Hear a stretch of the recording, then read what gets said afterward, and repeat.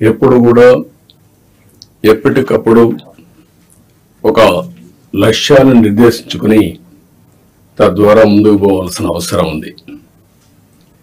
నేను ఈరోజు కొత్తగా ఈ కాన్ఫరెన్స్లు పెట్టడం లేదు. నైన్టీ ఫైవ్లో నేను ముఖ్యమంత్రి అయినప్పటి నుంచి ఇది ఫోర్త్ టైం సీఎం అయిన తర్వాత విధిగా కలెక్టర్స్ కాన్ఫరెన్స్లు పెట్టి ఏం చేయాలనేది ఒక డైరెక్షన్ ఇవ్వడం కానీ కలెక్టివ్ రెస్పాన్సిబిలిటీ గుర్తు చేస్తూ ముందుకెళ్ళాం. ఇప్పుడే మిత్రులు మాట్లాడారు. ఒక ఈరోజు మన కాన్ఫరెన్స్ ఒక చరిత్ర తిరగ రాయబోతుంది. అదే సమయంలో మనందరం ఒకటి గుర్తుపెట్టుకోవాల్సిన అవసరం ఉంది. ఐదేళ్ళకు మునుపు ఒక కాన్ఫరెన్స్ పెట్టారు. కొంతమందికి ఉండే ఆఫీసర్లకి సీనియర్ ఆఫీసర్లకి అందరికీ జ్ఞాపకం ఉంటుంది. అదే ప్రజావేదికలో. ప్రజావేదికలో కలెక్టర్స్ కాన్ఫరెన్స్ పెట్టి ఆనాటి ముఖ్యమంత్రి ఈ కాన్ఫరెన్స్ అవుతానే ఈ బిల్డింగ్ కూలగొడతామని అనౌన్స్ చేసి విధ్వంసానికి శ్రీకారం చుట్టాడు. అక్కడ నుంచి ఐదేళ్ళు అన్ని రంగాల్లో. ఒక రంగంలో మిగలలేదు.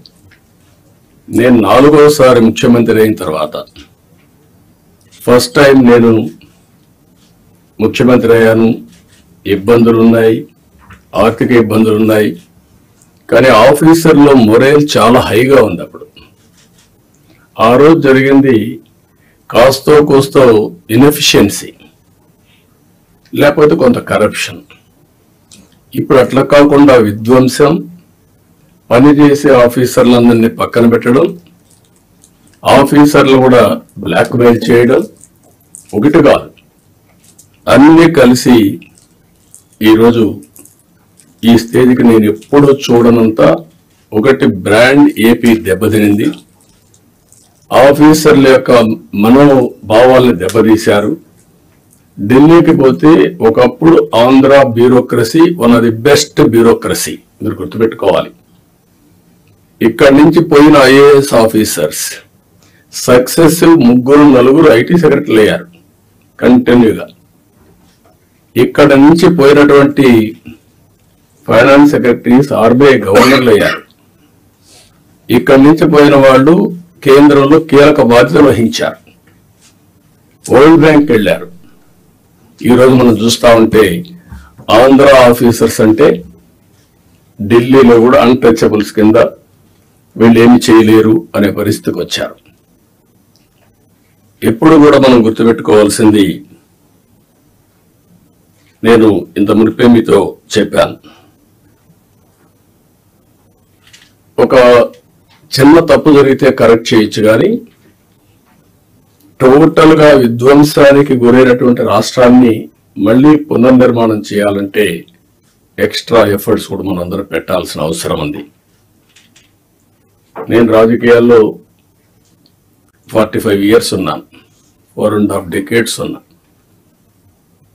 గ్రామాల్లో కరెంట్ లేని రోజులు రోడ్లు లేని రోజులు అక్కడి నుంచి ఈరోజు చూస్తే కరెంటు ఊర్లను ఉత్పత్తి చేసుకునే రోజులు. కార్లు ఆటోమేటిక్ కార్లు వచ్చేసి డ్రైవర్లెస్ కార్లు వచ్చే పరిస్థితికి వచ్చింది. అంటే మన కళ్ళ ముందరనే ఇప్పుడు మన వాళ్ళు మనం చేసిన ఇక్కడ ఇంకొక విషయం కూడా మీరు గుర్తుపెట్టుకోవాల్సిన అవసరం ఉంది. అన్నింటికంటే పబ్లిక్ పాలసీస్ అంటే చాలా పవర్ఫుల్. మనం తీసుకునే నిర్ణయాల ద్వారా రాష్ట్ర భవిష్యత్తుని భావితరాల భవిష్యత్తుని మార్చే శక్తి పబ్లిక్ పాలసీస్ ఉంటుంది. దానికి ఎగ్జాంపుల్ మీరు చూసినప్పుడు నైన్టీన్ నైన్టీ వన్. ఆర్థిక సంస్కరణలు ఆర్థిక సంస్కరణ రాకపో రాకమునుపు ఇదే దేశం ఇదే అడ్మినిస్ట్రేషన్ ఇదే ప్రజలు. కానీ బిఫోర్ మీరు చూస్తే భారతదేశం రెండు పర్సెంట్ మూడు పర్సెంట్ గ్రోత్ రేట్ అదే ఆర్థిక సంస్కరణలు వచ్చిన తర్వాత కాంపిటేటివ్ ఎకానమీకి దోహదం చేశాం అక్కడి నుంచి ఈ రోజు రెండు వేల నలభై ఏడుకి సూపర్ పవర్గా తయారయ్యే అవకాశాలు ఉన్నాయి ఫిఫ్త్ లార్జెస్ట్ ఎకానమీకి వెళ్ళాం. బై ట్వంటీ ట్వంటీ నైన్ మూడవ లార్జెస్ట్ ఎకానమీకి రీచ్ అవుతాం. నా లెక్క ప్రకారం అయితే గట్టిగా పనిచేస్తే అందరం డెడికేషన్తో పోతే రెండు వేల నలభై ఏడుకి ప్రపంచంలో నెంబర్ వన్ ఎకానమీగా ఉంటాం. లేకపోతే బై డిఫాల్ట్ థర్డ్లో ఉంటాం. కష్టపడితే కొద్దిగా సెకండ్కి వస్తాం. నేను ఎందుకు ఈ విషయం చెప్పానంటే ఆర్థిక సంస్కరణలు వచ్చిన తర్వాత first mover advantage technology adopt చేసుకున్నాం మనం ఇండియన్స్. మనకు ఒక హిస్టారికల్ అడ్వాంటేజ్ కూడా ఉన్నాయి. ఓసారి మిస్ అవుతూ ఉంటాం. ఆ హిస్టారికల్ అడ్వాంటేజ్ మీరు అందరూ చూసినప్పుడు మనం ఈ చాలా స్ట్రాంగ్ జీరో కూడా మనమే కనిపెట్టాం. బ్రిటిష్ వాళ్ళు ఇంగ్లీష్ మనకు వదిలిపెట్టి వెళ్ళారు. కోహినూర్ డైమండ్ కూడా తీసుకెళ్ళారు కానీ ఇంగ్లీష్ మాత్రం తీసుకుపోలేకపోయారు మన జీవన శైలిలో భాగం అయిపోయింది ఇంగ్లీష్ అనేది. ఈ రెండు డెడ్లీ కాంబినేషన్ ఇన్ఫర్మేషన్ టెక్నాలజీకి దాన్ని అందిపుచ్చుకున్నాం రైట్ టైంలో ఈరోజు హైదరాబాద్ నగరాన్ని మీరు నాలెడ్జ్ సిటీని మీరు చూస్తున్నారు. ఎప్పుడైతే ఇదే ఆఫీసర్ ఇప్పుడు కొంతమంది ఇక్కడ కూడా ఉన్నారు. నైన్టీన్ నైన్టీ ఫైవ్లో ప్రారంభించాం. ప్రారంభించాం. తొమ్మిదేళ్ళలో బెస్ట్ ఎకో సిస్టమ్ క్రియేట్ చేశాం.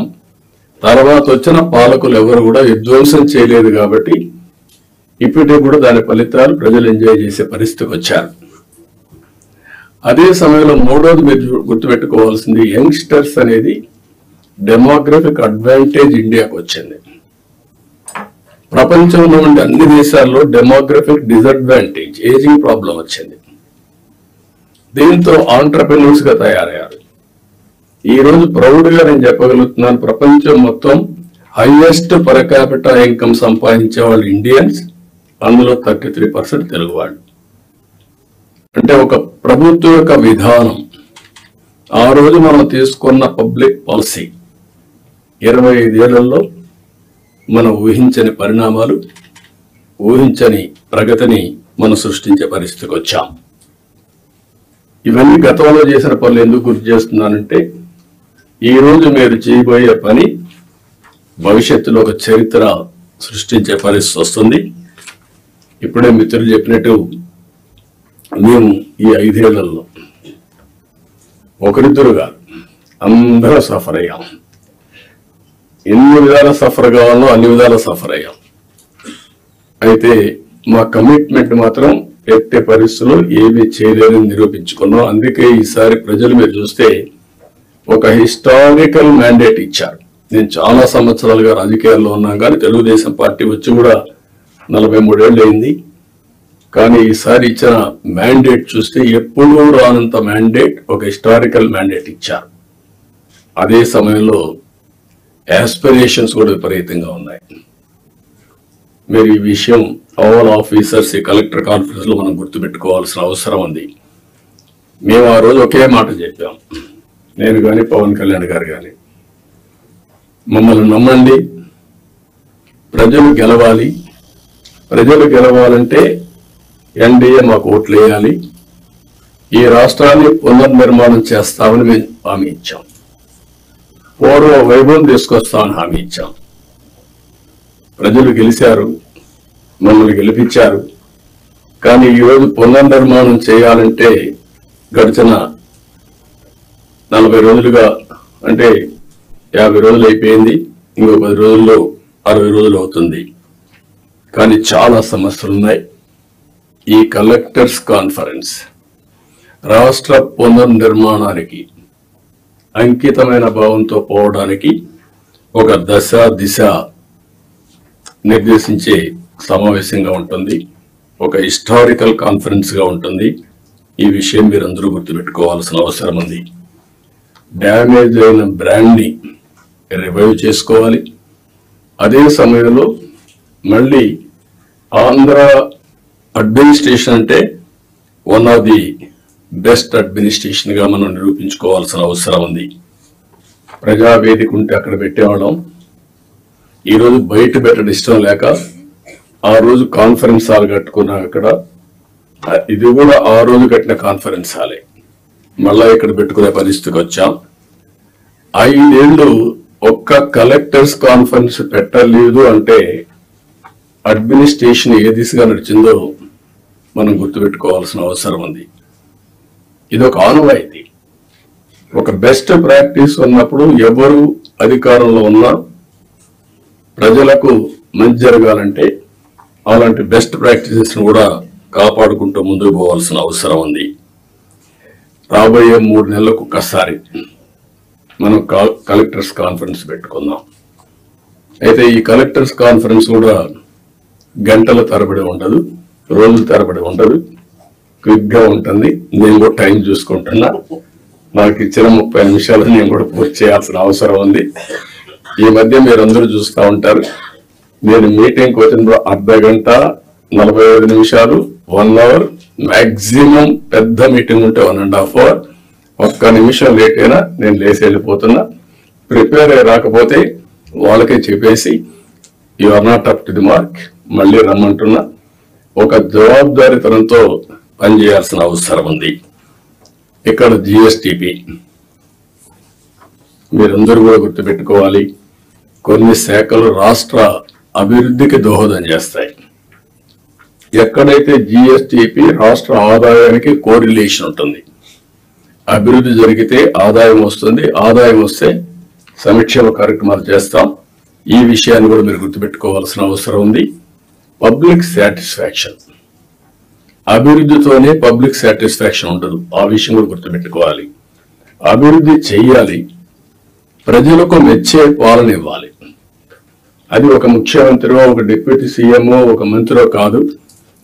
ఇక్కడి నుంచి లాస్ట్ మైల్లో ఉండే లాస్ట్ ఫంక్షనరీ కూడా ఆర్ లాస్ట్ మైల్లో ఉండే పొలిటికల్ ఫంక్షనరీ కూడా ఈ ప్రభుత్వ ఇమేజ్ని నిర్దేశిస్తారు.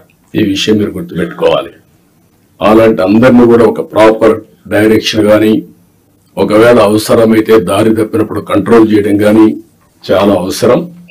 అందుకని మీ అందరినీ అది కూడా రాబోయే రోజుల్లో మనందరి బాధ్యత యాజ్ అ లీడర్ నా రెస్పాన్సిబిలిటీ అందరి పర్ఫార్మెన్స్ అనలైజ్ చేసుకొని రైట్ మ్యాన్ రైట్ పొజిషన్లో పెట్టి తద్వారా మెరుగైన పాలన ప్రజలకు అందించడం.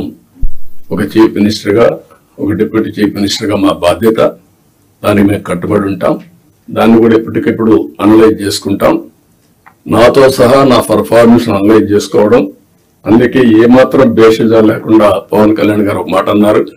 నేను ఇంకా నేర్చుకుంటానని నేర్చుకోవడం అనేది అనునిత్యం చేయాల్సిన పని. Learning and delearning is a continuous process in life మీరు నేర్చుకుంటే ముందుకెళ్తారు నేర్చుకోకపోతే అక్కడి నుంచే డీర డిస్ట్రక్షన్ డిట్రియేషన్ స్టార్ట్ అవుతుంది. ఈ విషయం కూడా మీరు గుర్తుపెట్టుకోవాల్సిన అవసరం ఉంది. ఇక్కడ కలెక్టర్స్ జనరల్గా ఐఏఎస్ కావడం ఒక కళ. ఐఏఎస్ అయిన తర్వాత కలెక్టర్గా పనిచేయడం అనేది మీ క్యారియర్లో ఒక పెద్ద డ్రీమ్ ఇది. మ్యాక్సిమం నలభై ముప్పై ఐదు సంవత్సరాల మీ లైఫ్లో ఒక ఐదు మూడేళ్ళు నేనైతే ఐదారేళ్ళు కూడా పెట్టేవాడిని బాగా పనిచేస్తే. ఎందుకంటే I want to give that stability to administration. ఇప్పుడు కూడా అది ఉంటుంది గుర్తుపెట్టుకోండి మీరు. పని చేయకపోతే మాత్రం గ్యారంటీ లేదు. Don't mistake me as long as you are delivery I want to encourage stability in administration అదే సమయంలో ఈ మూడు సంవత్సరాల నుంచి ఐదు ఆరు సంవత్సరాల్లో మీరు చేసే పని మీరు కలెక్టర్స్గా ఉన్నారు మీ జీవితంలో మీకు ఎప్పుడూ గుర్తుండే ఒక బెస్ట్ డేస్ ఈ విషయం ఆల్ కలెక్టర్స్ గుర్తుపెట్టుకోవాలి. మిగిలిన అందరికీ అన్ని పనులు చేయడానికి కొన్ని ఇబ్బందులు ఉంటాయి కానీ ఏ పని వచ్చినా మానవతా దృష్టితో మీరు ఆలోచించి పరిష్కారం చేసే అవకాశం పరిష్కారం చేపించే అవకాశం జిల్లా అడ్మినిస్ట్రేషన్లో కలెక్టర్స్ ఉంటుంది. ఆ విషయం మీరు గుర్తుపెట్టుకోవాల్సిందిగా మిమ్మల్ని కోరుతున్నా. మీరు అనుకుంటే ఒక మార్క్ క్రియేట్ చేసుకోవచ్చు మీకోసం. అలాంటి collector one of the best collector. ఇటీవల మేము ఎప్పుడు ఇలాంటి కలెక్టర్ చూడలేదు అని ఒక మార్క్ క్రియేట్ చేసుకునే పరిస్థితి వస్తుంది. దానికి మీరందరూ కూడా ఈ రోజు నుంచి ఆ సంకల్పం చేయడమే కాకుండా దాన్ని సాధించడం కోసం పనిచేయాల్సిందిగా నేను మిమ్మల్ని కోరుతున్నా.